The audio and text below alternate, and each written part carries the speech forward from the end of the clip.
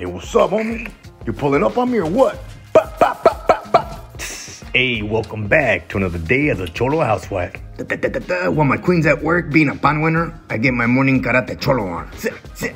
I get the laundry done, and then I start watering these plantas. I named this one Audrey II. Pues órale, step into the ring and throw down, that's it. Oh, my fina's home. I better prepare my mamacita slippers. Okay. Mm-mm. Hey, if she's here, who's running heaven? Quiero comerte yo todos los días. Nah. Damn, look at her, still working. Too bad her work husband Rafa quit after he met me at the Christmas party. Here you go, my dear. Take these off. Damn, your feet still smell like roses. Oh, she's looking at me. Don't cry, don't cry. now, one thing about my Jaina, she's got a cute little bladder. Mm, right this way, mi amorcita. Windows open and candles are lit. Make some room for dinner. Now back to the kitchen where I belong.